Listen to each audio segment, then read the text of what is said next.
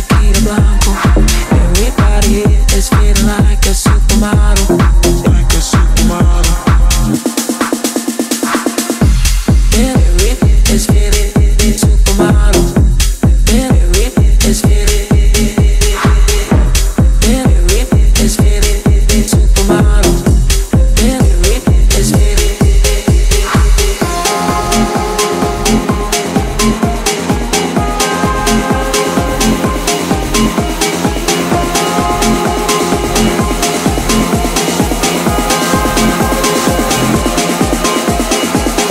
this bottle up It's already tomorrow.